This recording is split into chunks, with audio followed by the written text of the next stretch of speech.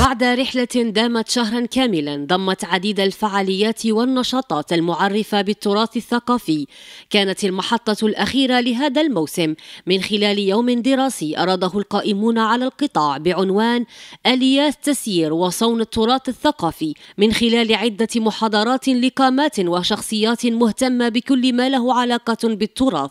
تسليط الضوء على التراث الثقافي على اليات صونه على الحماية القانونية له على النظام التشريعي الكفيل بحماية تراثنا من الضياع من النهب والسرقه وأيضا كيفيه تثمينه. الأهمية في تنظيم هكذا ملتقيات وندوات دراسية من أجل آه، تعميم المفاهيم العامة وتصحيح المفاهيم لدى المواطنين عامة ولدى المسؤولين المعنيين وكل القطاعات المعنية بالحفاظ على التراث الثقافي. ومن هنا تسهيل المهمة وأيضا تفعيل التدابير التي من شأنها حماية التراث الثقافي. التراث الثقافي الجزائري هو يعني هو مشترك الإشكال أنه مشترك بين عدد من الدول دول شمال إفريقيا. هناك عدة طلبات مقدمة بشأن تصنيف عدد من الممتلكات التي تعتبر تراث ثقافي.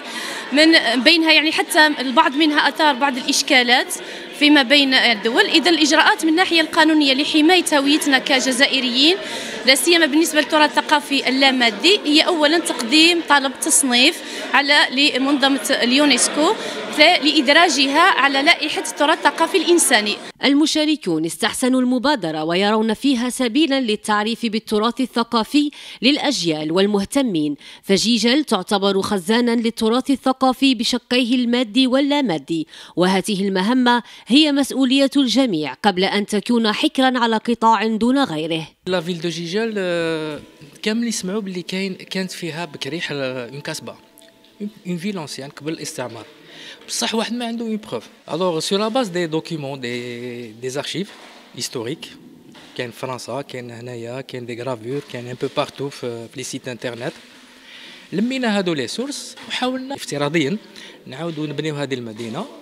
ونشوفوا الخصائص نتاعها.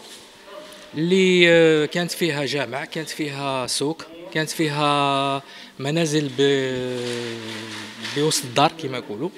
وهذه الخصائص نتاع المدن القديمة المغاربية والتي تسمى كسبة كسبات هو التراث هوية الشعوب وانتمائها والجزائر تحاول بكل الطرق والآليات للحفاظ على الموروث الثقافي وتسن من أجل ذلك القوانين والتنظيمات كما تسلط أقصى العقوبات على المخالفين والعابثين به باعتباره إرث يتوارثه الأجيال عبر العصور.